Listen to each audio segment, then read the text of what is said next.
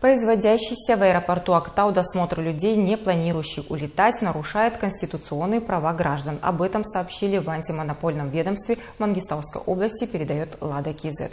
Гражданские права, как отмечает сообщение, нарушают требования проходить через рентген-аппарат и сдавать свои личные вещи при входе в аэропорт Актау.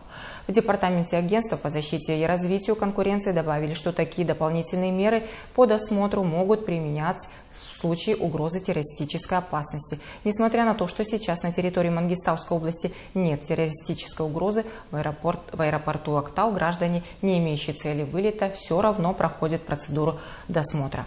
Поэтому в адрес руководства аэропорта Актау внесли, уведом... вынесли уведомление, если по истечении 30 календарных дней там продолжат досматривать людей без билетов, то антимонопольный орган назначит расследование с принятием соответствующих мер.